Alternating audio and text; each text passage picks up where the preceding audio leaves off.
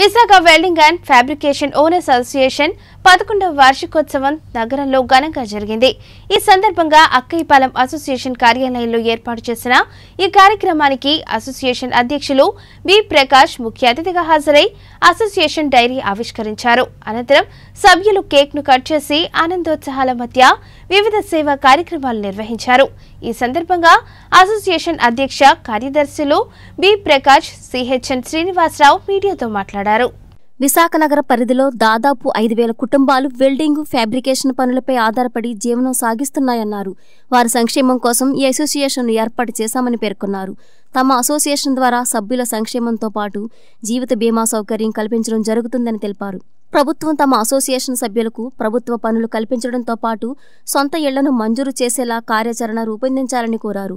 సభ్యుల సంక్షేమమే ధ్యేయంగా రానున్న రోజుల్లో మరిన్ని కార్యక్రమాలు చేపడతామని హామీ ఇచ్చారు. ఈ కార్యక్రమంలో అసోసియేషన్ ఉపాధ్యక్షులు వై కిరణ్ కుమార్ కోశాధికారి Dhanunjay K Gangaraju B Bhuloka K Sivajanardhan B Maheswararao B Krishnakar Reddy M Prasad తదితరులు పాల్గొన్నారు. ఈరోజు డెబ్బై ఒకటో గణతంత్ర దినోత్సవం సందర్భంగా మా అసోసియేషన్ తరఫున డైరీ ఆవిష్కరణ అలాగే ఫ్లాగ్ హోస్టింగ్ కూడా చేయడం జరిగింది.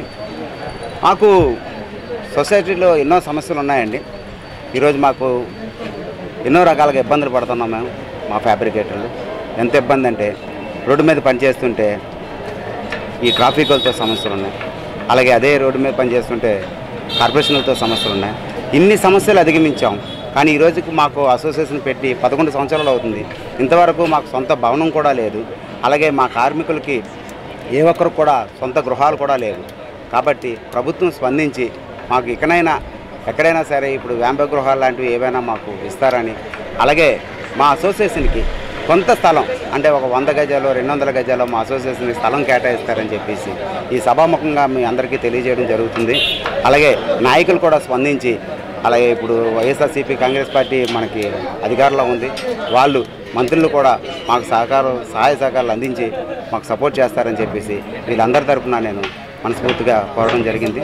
Visakha welding and fabrication owners welfare association సెక్రటరీగా మేము ఈ ఈ గణతంత్ర దినోత్సవం ఎందుకు ఎన్నుకోవడం అంటే మేము గత కరెక్ట్గా పదకొండు సంవత్సరాల క్రితం ఇదే రోజున మేము మా అసోసియేషన్ స్థాపించడం జరిగింది. అది గణతంత్ర దినోత్సవం మనకు రాజ్యాంగానికి ఎంత ముఖ్యమో అలాగే మా అసోసియేషన్ కూడా ఈరోజు చాలా ముఖ్యమైన రోజు. ఈ రోజున మేము ప్రతి ఒక్కరం కూడా మా ఇంచుమించు మన విశాఖపట్నంలో ఉన్న వెల్డింగ్ షాప్ ఓనర్స్ అసోసియేషన్ ఇంచుమించుగా నాలుగు వందల యాభై మంది వెల్డింగ్ షాప్ ఓనర్స్ ఉన్నారండి.